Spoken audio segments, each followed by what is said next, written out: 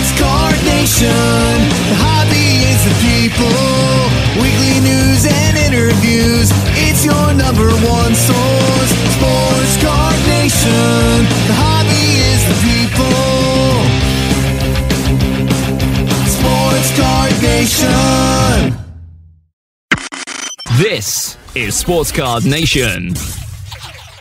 What is up, everybody? Welcome to episode 290 of Sports Card Nation.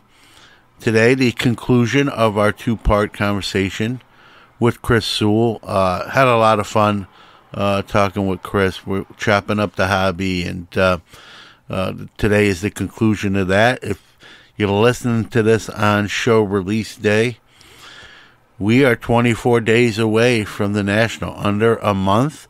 The National in Cleveland. I hope you, if you want to go, you're going, and uh, looking forward to it as much as as me. I've never been to Cleveland. This will be my first time. Going in a day early, checking out the Rock and Roll Hall of Fame. Cross that off the uh, list of things I've always wanted to to do, and uh, you know, should be should be fun times as all nationals uh, usually are, and. Uh, but we're going to have fun times today. Again, the conclusion of our two part conversation with Chris Sewall. And so, uh, with that being said, let's take a quick 30 second break and we'll be back with Chris Sewall.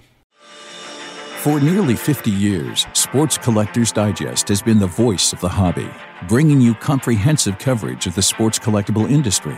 From industry news, auction results, market analysis, and in depth stories about collectors and their collections, Sports Collectors Digest has everything you need to know about the hobby.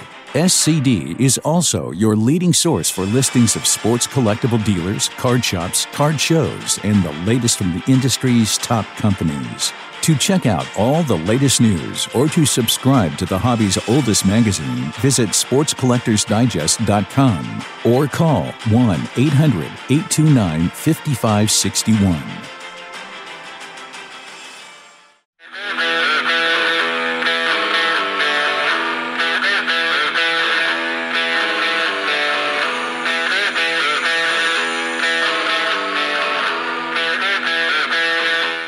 So you're sort of an accidental YouTuber, it sounds like. Definitely. Has it surprised you, like the success of the channel? Has it even surprised you, or, or not? Not necessarily. Yeah, well, first of all, thank you for the the, the kind words, and I, it's a good good observation that I think people sort of gravitate towards. Uh, yeah, I think a lot of my viewers are the yeah. I opened my first pack when I was five, and I, I've been collecting ever since. I think uh, yeah. Um, yes, the the, the channel I didn't yeah the the channel was like totally unexpected that it it did that well. Um, again, it was really just a short term plan. I was going to do it for a year or two until I moved back to the states. Uh, I had no no plans to do it long term, but uh, that all changed quick when it it kind of it kind of blew up right at the beginning, it, pretty early. Like the first maybe uh, four months was a really really slow grind, and then I don't remember there, there was just a couple videos that took off, and then all of a sudden it it it shot up real quick. And then I was like, oh wow, maybe I should rethink this as more of a bigger bigger like part of my life as opposed to just something I'm doing short term t- to fill a hole. Um, yeah, so I was definitely I had no no no plans to have some big YouTube channel, and it was very surprising. Yeah. Has the success of the channel changed how you hobby? Like, has it influenced even how you hobby? Some of the personal decisions you have to make, and is there pressure now that you have a, a very popular channel that you like you self admitted like, hey, I didn't mm-hmm. expect it to blow up like this. Has it put pressure on you? Like, hey, I I gotta create content like I gotta live up to the billing now. Or is that I'm just like or is it I'm just gonna do what I enjoy, be myself, and if more people like it than not mm-hmm. like it, then that's that's that's a win. Um, yeah, so it, it's create well. So when I was in Europe, I had all the time in the world, so I would put out four to five. I was putting out about five videos a week, and I'm and my I, my videos take a lot of research, a lot of editing. Like I put on a lot of time into each video. Um, you know, uh, so it, it was a, it was essentially like a full time job running my channel in Europe. Now I only now I'm down to now I only put out two videos a week, um, and that's that's just because I have I want to play with cards instead. But I'm still, you know, I still enjoy putting out two videos a week. If I had to put out five a week right now, I would, I would, it would start to drain on me, and I would probably start to feel it was more of a job. Um, but at two videos a week, it's it's still very fun.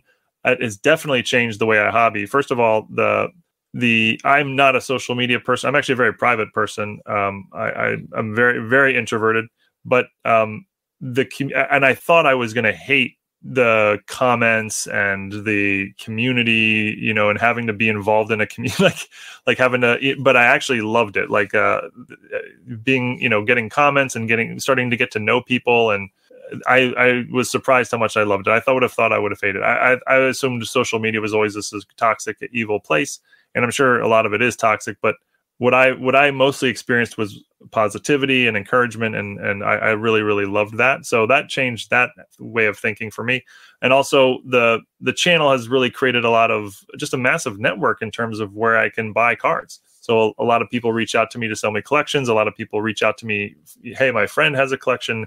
Uh, a lot of people come up to me at shows and specifically seek me out to s- sell me cards. And this is the real value to me of the channel because again, what I want to do is play with cards.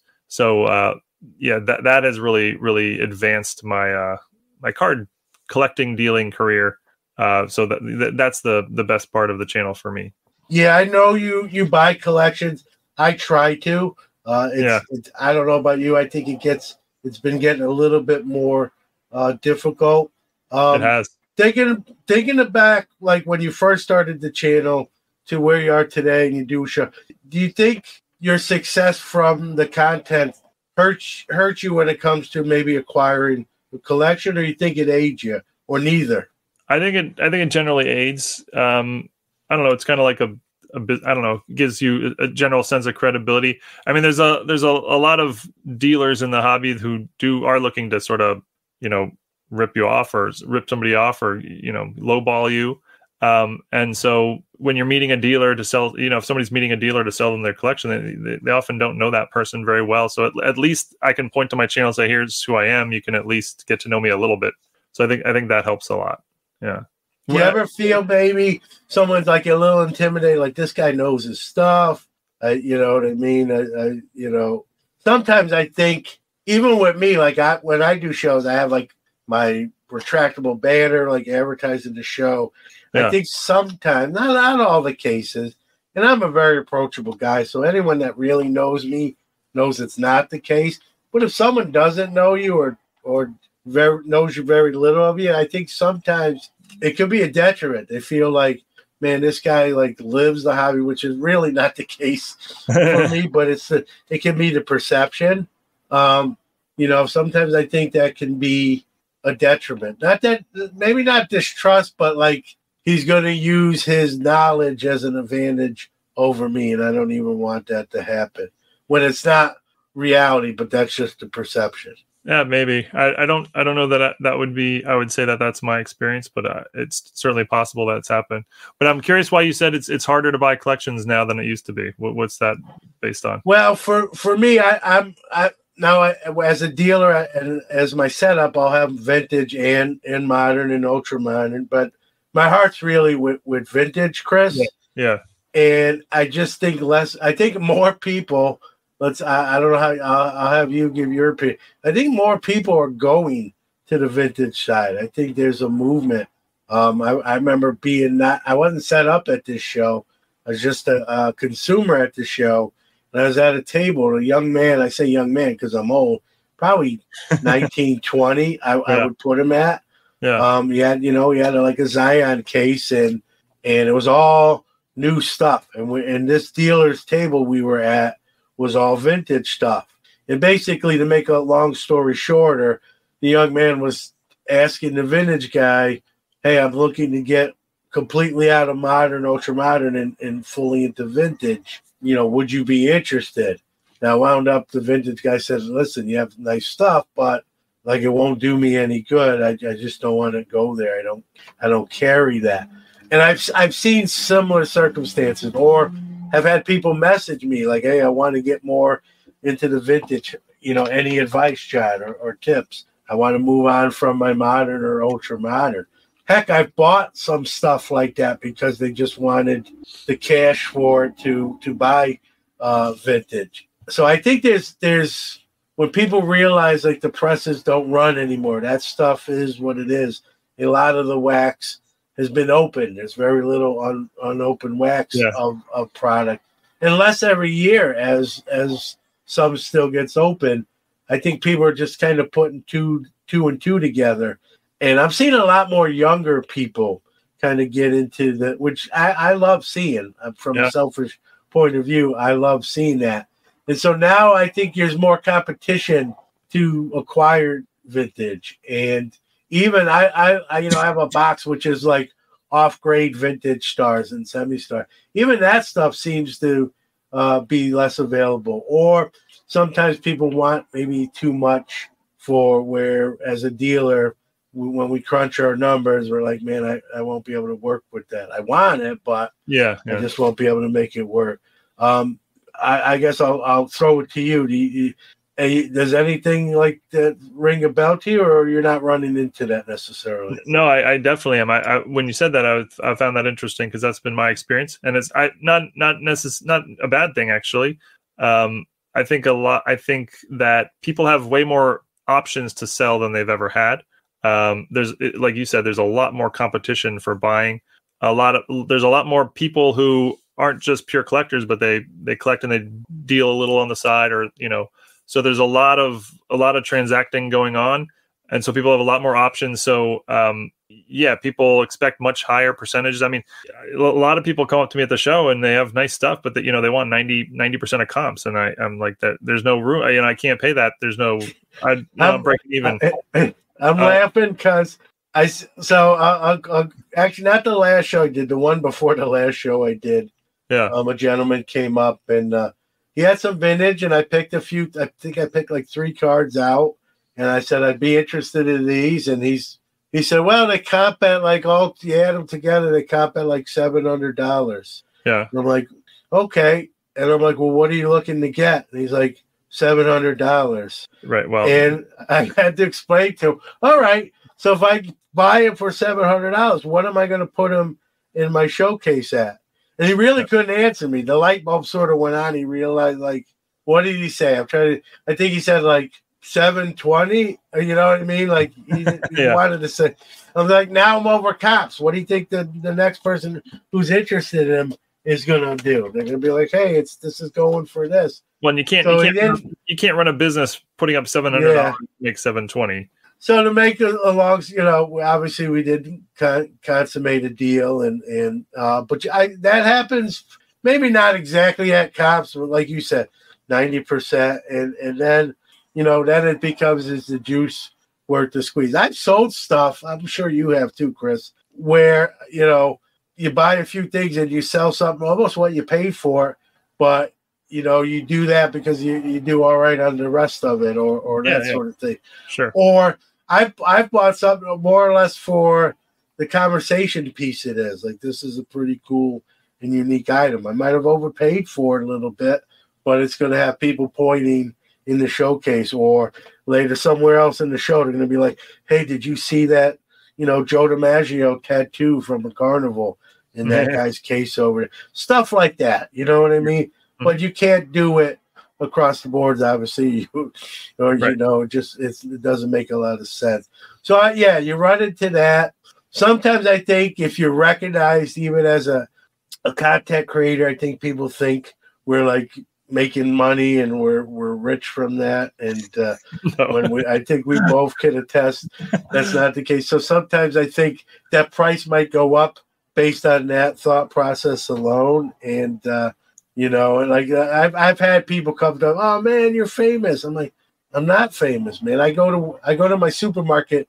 No one recognizes me. That's fame. When you can't go grocery shopping without someone saying, "Oh, look, it's that guy," that doesn't happen. So maybe I'm recognized hobby wise, but I'm not a celebrity. Yeah, my Uh, my and- uh, I have I have friends who refer to me. My, I have friends who refer to me who are not in the hobby, who refer to me as a D minus celebrity. Which yeah, that sounds about right. yeah, you know, but there's people who are of that mindset that think, oh man, you know, uh, you know, and and maybe I don't want to say take advantage. I don't think that's fair, but maybe try to use that uh, to their advantage, or or or think we'll pay over comps or at you know for that for that reason. And like I said, I've bought stuff at a if it's for my PC, I will. Yeah. I have like, hey, I'm not even going to sell this. I just want it. What do you got to have?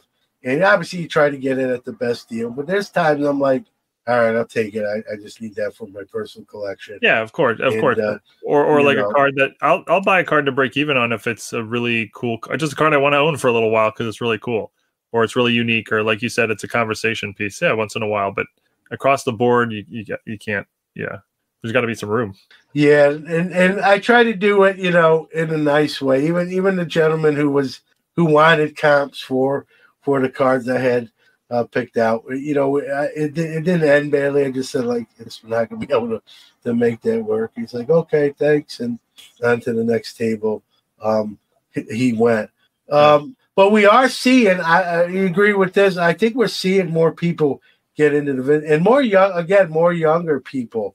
I know at the last year's national, Chris, I saw a young man, 13 years old, for very, you know, again, young to me, 12, 13, 14 years old.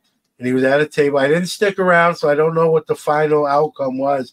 But he had three Hank Aaron graded rookies out on, Yeah. on the case, and he was basically trying to, I think, do two things: decide which one he which which one he wanted, and then negotiate a deal for that. I didn't want to be nosy and just loiter around. I was legitimately looking, and when it was done, I moved on. It looked like they were going to make a deal, but I was that made me feel good seeing a young man who, you know, didn't grow up with with Hank Aaron. Uh, obviously, we all hear about him. He's a, a baseball legend, uh, Yeah. Americana.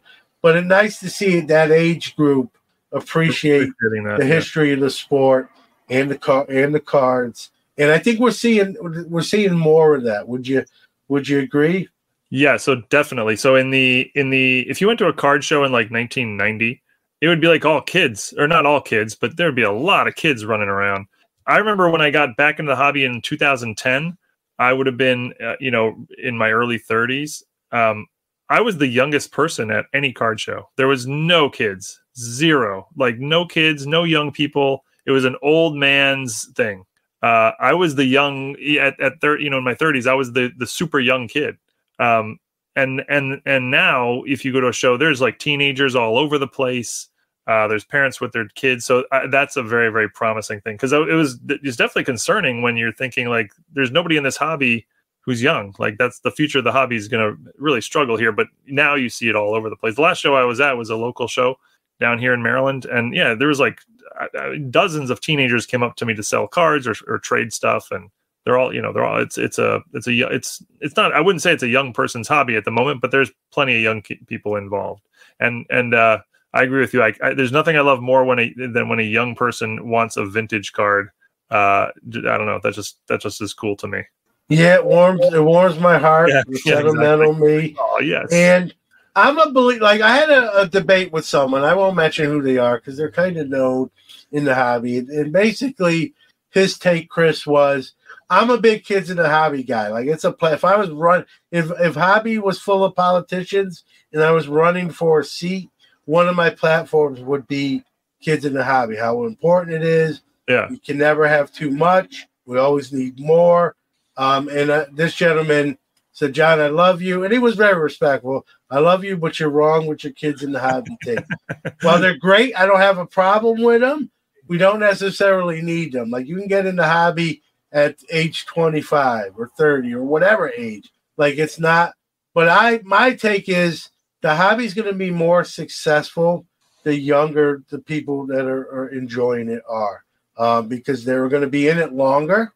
Uh, you know, if you're looking at uh, chronological and timeline, you're going to be in it longer, hopefully or mostly.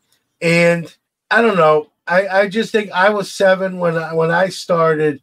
There's something organic about that, right? Look how many people. While we were already in it when when COVID hit, how many stories you hear them? I hear them.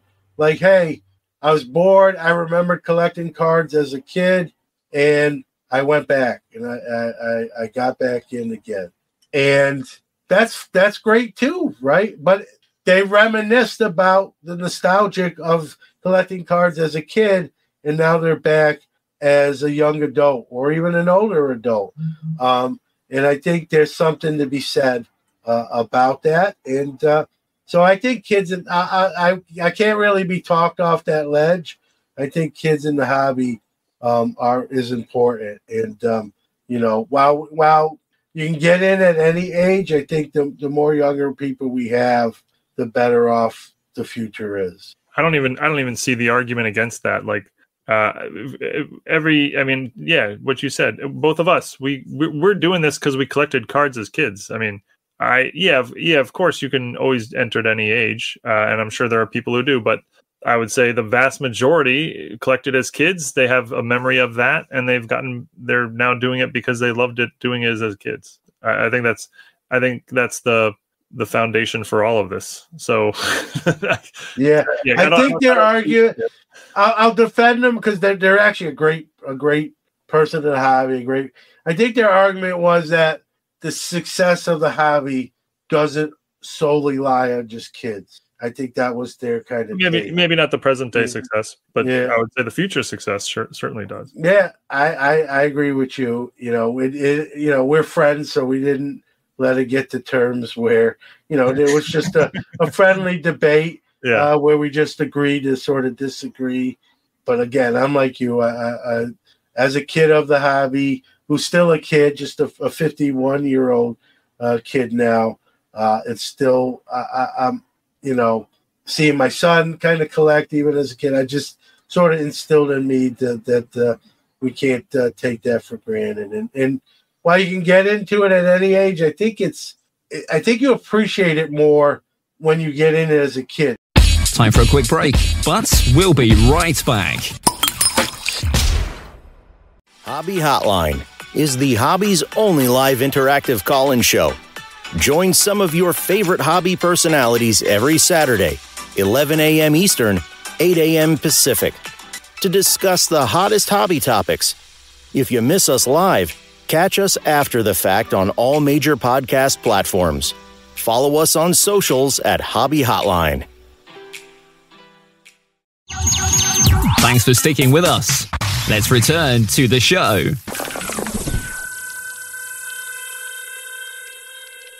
You know, when I started at seven, I, and I'm probably going to speak for you here too, Chris, I didn't care about the values, right? I just wanted Reggie or Thurman Munson, or I wanted Yankees, or I wanted Mets cards. Like I don't want to say I didn't care about the value, but that wasn't at the forefront. Yeah. Um, it was just the cards, my favorite players, my favorite teams.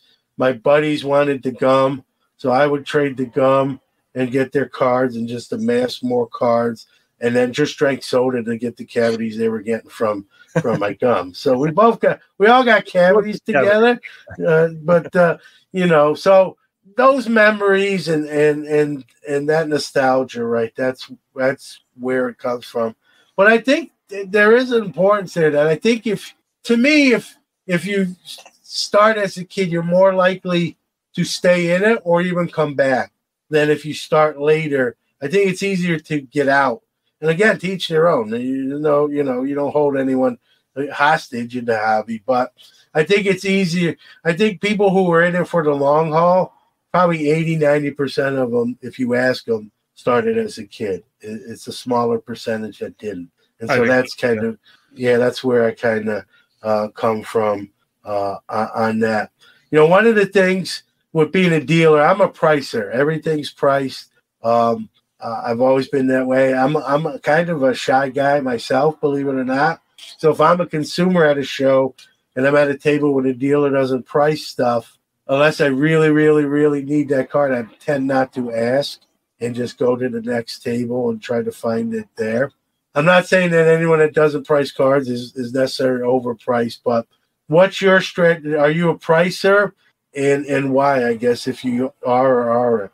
Man, yeah, you and I really line up on a lot of things. If if if, I, if a table is has no prices, I just walk right past it. Um, I yeah, I'm sure that dealer. I know obviously there's dealers who do that and are successful, so good for them. But that's not interested. I'm, I'm not interested in, in having to start the conversation by asking what the price is. So I'll just I'll just move on. I would say that, um, and maybe there are dealers that do it successfully, but I would say if you don't price your stuff, you're you're missing out on a lot of potential customers because there are a lot of customers like me and you who just aren't going to bother. Um, so yeah, I, I would always I always price my stuff. Yeah. So I have a dealer friend of mine who doesn't. Yeah. He's a non-pricer. His prices are actually very reasonable. I know him. I know, but his argument is is this, Chris, is he says I have so much stuff, Chad, and the way comps change, I don't have time. I'm just saving a bunch of time. Um, you know, not having to reprice or going back No, and fair. putting a price sticker. But my argument back to him is what we just talked about. As I said, I think 70 or 80, whatever percentage you want to put, a, a high percentage of people won't ask. And so you're sort of eliminating them as Yes. as potential customers. I'd rather be a little bit over comps on a sticker price and have someone tell me that and then come down and, and work with them and say, You're right. I just looked it up. That's the you know, I just have so much stuff. You miss stuff. And let's let's talk about, you know, making a deal. I'll, I'll honor comps and all that good stuff. Um, you know, but his argument is sometimes the swings are so big that you might be way over it. You're definitely not going to make a sale. So it's you know, what's your strat? You know, what's your strategy with that? We've seen stuff, you know, swing or come down more than necessarily go up. Um, you know, what's your take uh, on his take that? Hey, I, I I sort of look at it as kind of the lazy way out. I don't price anything, so I can just worry about it. The other thing, I don't always like. I don't know about you. I don't always like pulling out my phone all the time to check. If like nothing was Oh, yeah. priced, you know what I mean? Like Yeah, I don't want to have my phone out constantly to look that that up. I rather, you know, and, and you do this long enough. You've done it long enough. I've done it a long time. You tend to know who's moving, going down, going up. You can rifle through your inventory and kind of focus on those cards and reprice them, whether that's up or down. Uh, you know, either way, I tend to do that. Um, kind of what's your take with my buddy's argument that you know there's so many price swings that it's just easier to leave them unlabeled and then deal with people who ask. I mean, that's a that's a fair point. Um, I would I would counter with basically what we've been saying. Like you're you're you're missing out on a lot of customers. So maybe maybe find a you know maybe price one case worth of stuff or something, just so you have some prices, and then you can have a box of unpriced stuff. I don't know. You're just I think many many customers are just going to walk by and not look. So I don't know if that's worth the trade off. Um, I would guess it's not, but maybe maybe it is. Um, I for me when I sell a show, I don't really price stuff that I don't really have stuff at a show that's going to swing in value much. I have like dollar boxes, two dollar boxes. I, I have vintage, um, so I don't really have to worry about that too much. Um, if I have like modern what, mo- modern cards that I sell that I that have potential big swings, um, I will price really high and then lower them over time to the point where they'll sell properly. So I don't really have to worry about big swings. It's very rare where I end up with a card that's like wildly uh, priced wrong. Yeah, I'm a I'm I'm a pricer. No one can convince me. You know, I've done that from even that first show at, at age 15. All my stuff was priced. Yeah, I tell the story. I didn't have a lot of bedside manner, Chris, so I literally would just sit there. yeah, And to the point, I remember, a gen- I've told the story at the show, so I apologize to those who've heard it before. You know, a gentleman came up, this is 1987, and wanted a card. And he's like, Hey, uh, I want to, I, I'm interested in this card. I want to see if your dad could do better. Do you know when he's coming back? And I'm like, This is my stuff. And he was shocked, you know, because I was a young looking That's 15 funny. too. Yeah, so, yeah. but I didn't, you know, I wasn't like, hey, how are you doing today? Yeah, Is there something? I didn't have that uh, bedside manner at the time. I have it now after many, many moons of, of, of practice. But when I was a shy kid, so Yeah. it was just like, you know, if someone wanted something, they'd pick it out. I, I would deal with someone, but they I, they'd have to make like initiate the conversation. I was sure. very poor, a very poor salesman uh, in the early going. And uh, fortunate, I did all right. I just had enough inventory that people wanted, and I still was successful. That that really that wouldn't work today. Uh, that kind of that kind of uh, bedside manner wouldn't work today um, with, with more dealers and, and more you know more opportunities to to buy from someone who might be a little more personable and, and outgoing, which I've I've obviously become uh, uh, through the, through the years. Um, I got to, you know, a segment we do sometimes with the guests, not all the guests, um, is what I call the hobby magic wand. Uh, I, I hand it to you. Obviously, it's a fictitious item. Too bad it really didn't exist, but it doesn't. But for the show, it does. So I hand you this hobby magic wand. You get one wish, hobby related. Um, you know, what is it? It could be for a Holy Grail card. I don't like this aspect of the hobby. I want to fix it. It's your wand. It's you can do whatever you want with it. What does Chris Sewall use it for? So I can do anything. Anything, but you only get one. You can't like, you can't wish like for three more wishes, and then Well, can I like have all the fifty-two Mantles in my possession? Is that yeah, that's hey, that's your wish. there you go. okay? Yeah, I'll, I'll do that. No, I, I mean, uh, well, there's a lot. You could, there's a lot you could go with here. Um, I, I th- like we already talked about the kids. I would love to see more kids. Uh, I would love to see it back to the '90s when like all kids did it. I mean, when I was a kid, literally like every boy at my school collected car. It was it wasn't like a few of us. It was like every single one. I'll trade on the bus, and you know, uh, I'd like to see get back to that on some level. Um, I would love to. I would like to see uh, dealers who who take advantage of people get out of the hobby. I think that's a that makes my life harder because uh, a lot of people are skeptical of dealers, and, and and at times rightfully so. So I guess those would be a couple of mine. What would what would yours what would yours be? Well, I like the last one you said. I think sometimes as dealers, we sort of get lumped in with everything. It's Yeah, yeah, thing right. with breakers, right? We see a bad breaker who doesn't send a card or take something off screen, and we just sort of, oh, all breakers are crap, right? Yeah, right. And I think sometimes with dealers too, right? Oh, they're all over, you know, he's so overpriced. They're all trying to gouge everyone. We just sort of get you throw the baby out with the bathwater, so Yeah. to speak. So when when you said that, you know, I I was nodding my head because I think that does happen, and it's like unfortunate that you're sort of just kind of grouped with the bad apples of your group. You're automatically sort of guilty by association. May not even, and in many cases, we don't even know that person. yeah, Yet we're sort of aligned with them because we do the same thing, right? We set up a show so that we're they're all like that, you know. The old they're all like that line, and so I agree with you. Um, you know, I've already said I'm a big kids in, in, in the hobby. Um, I've never really asked myself that. I guess one of the things I gravitate to people who are passionate and genuine. I would just like if if if the if the wand existed for real, I would just make it where everyone you know was that um, uh, from a selfish uh, point of view, and and and I think most people are. I just make it hundred percent yeah. uh, across the board.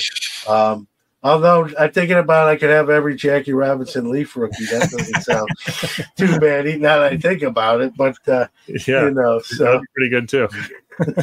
but uh, unfortunately, it's not a real item uh, as of yet. I'm working on it. Uh, got a Wa- few the wand? more tweaks. Yeah, a few more tweaks to, to work out, and uh, but uh, you know, uh, I think overall, you know, a lot of times we hear the bad stories, um, but I think you'll agree. I think you know, ninety percent, probably even higher than that, are are good people doing good things. It's just that that single digit percentage that kind of ruins it. I don't want to say ruins it, but puts a, a negative connotation on the people doing it above board in the right way, and and that's unfortunate. It kind of comes with the the territory. The only thing we can do, Chris, is just keep doing what we do, and and people who know, really know us or get to know us, they'll they'll see, and that's all you can, I guess, you can ask for. And if you know, if someone want to just kind of paint with a broad brush that everyone's like that, that's their shallowness, if you if you will. You, you know, you hope you hope it doesn't happen, but uh, it's not a new concept, so uh, it is what it is. But Yeah. uh, you know, yeah. as Good point. Yeah. as long as, long as you're having fun, whether it's you know, I have fun on on both sides of the table. One of the things I one last question too, and then we'll kind of uh, close it out is sometimes even when buying stuff, I've gotten better at this. The younger version of me was was worse at it. Um, I've gotten better in, in in my older ages, but in, in buying, whether it be collection or some cards, is oh, I'm going to keep that. I'm going to like that's not going to make it into my show inventory. I Yeah. used to do a lot more of that than I do today.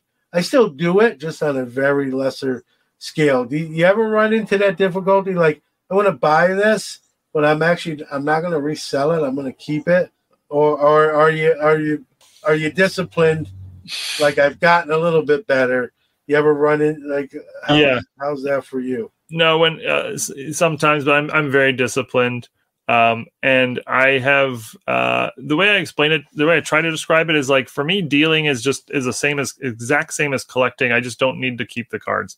I, everything is the same. I get to buy cards. I get to play with cards. I get to grade cards. I get to look up cards. I get to sort cards. I get to do all the fun things I love about collecting. I just don't need to keep the card. So uh, uh, I, I've gotten to the mentality where that's the case, and so I, I very rarely, you know, it, that that very rarely is a problem. But if there's a card that I, is truly unique, and I'm like, wow, I've never seen that, or I really want to own it, but it's not like a PC card, I'll probably buy it and then just like keep it for a few months, and then okay, I've, I've now owned it for a little while, now I'll sell it, um, and just sort of to like ex- ex- extend the collecting aspect a little bit, we'll say. Yeah, I'm, probably along the same uh, lines. I remember working in that store with Rudy, um, and I remember you even telling me like, "We love cards, right, John? But don't don't get too attached, right? If uh, there's always a potential uh, replacement, and there's no shortage of you can pivot and, and get into something else that you enjoy too card wise. So Yeah. um, you know, I've had other dealers who don't keep anything, and their their mantra is everything has a price. Even if I had a PC, if someone offered me a crazy price, I'd sell it. So, you know, he's even his his take to me is you might have stuff at home, John, but if I just wrote you a blank check, you'd sell it to me.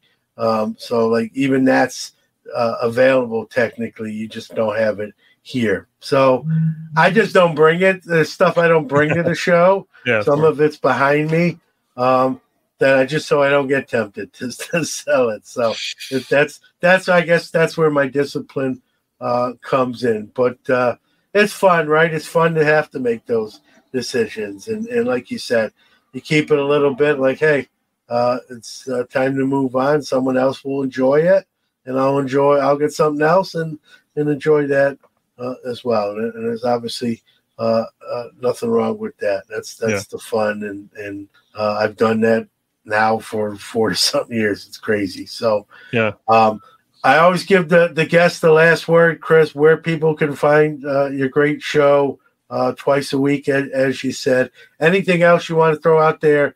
Uh, if if the, the contact you, if they're selling to collect, whatever you want to share, uh, take your time.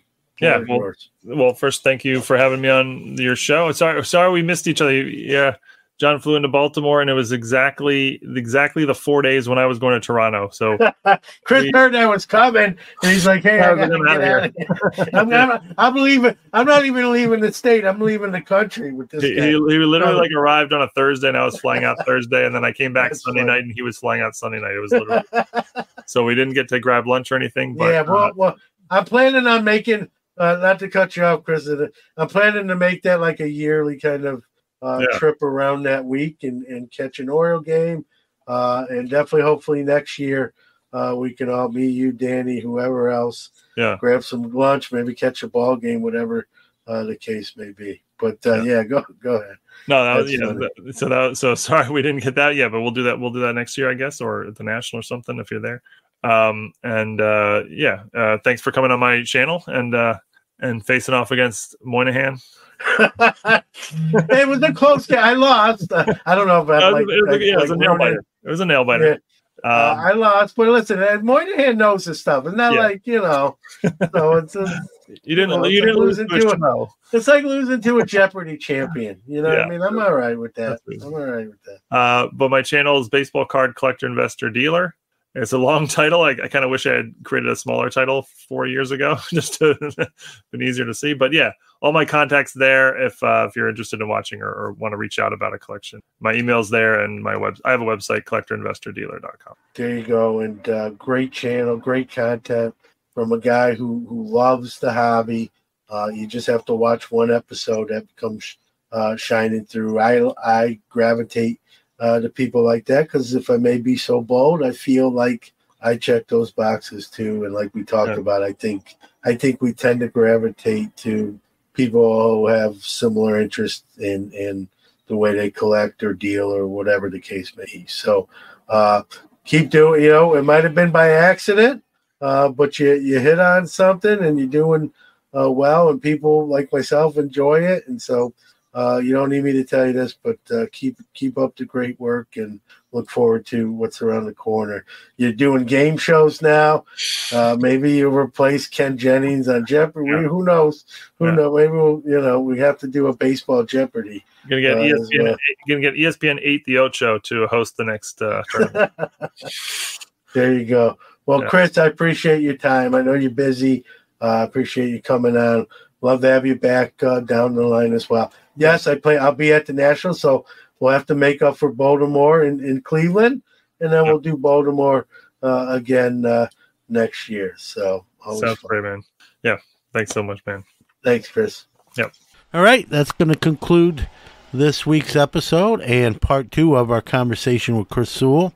Uh, great guy. Gotten to know him a little bit more. Like he, like he said, I was on his show for a game show he did, and uh, just a really cool guy doing it the right way. Which we we love those folks, and that's why we have them on the podcast. And uh, check out his show on YouTube. You probably are already, but if not, check it out. Uh, speaks from the heart, uh, loves the hobbies, very passionate, and uh, those are ingredients for success, if you ask me. So, with that being said, we're going to hear from our Hobbies the People announcer, some closing thoughts, and we'll wrap up this week's episode. Time for our Hobby is the People announcer of the week. What's up, Sports Card Nation? This is Brett McGrath with the Stacking Slabs podcast. Remember, the hobby is the people. If you'd like to be the Hobby is the People announcer of the week, do a WAV or MP3 file and send it to sportscardnationpc at gmail.com. That's a wrap for this week. Huge thanks to you, the listeners out there, because without you, there is no us. If you like the show, we truly appreciate positive reviews. Big ups to our great guests who drive the show and our awesome sponsors who make it all possible. Sports Card Nation will be back next week, but don't forget to catch either Hobby Quick Hits or Card Mentions coming up on Monday. I'll leave you with this. How do we change the world? One random act of kindness at a time. Remember, the hobby is the people. Hobby News Daily is your homepage of the hobby, providing original writing, exclusive gem rate data, a daily morning minute podcast, and some of the best content creators in the hobby. Remember, hobbynewsdaily.com and at Hobby News Daily on social. Happy collecting! Iron Sports Cards is your number one source for all your PSA and other grading submissions. Their elite status improves turnaround times. Heck, they even provide the card savers. Their chat rooms provide updates on all your submissions. They also offer wax options and single cards to cover all the bases. Check them out on Facebook at Iron Sports Cards Group or on the web at ironsportscards.com or even give them a call at 1 877 IRON PSA. Rob's got you covered.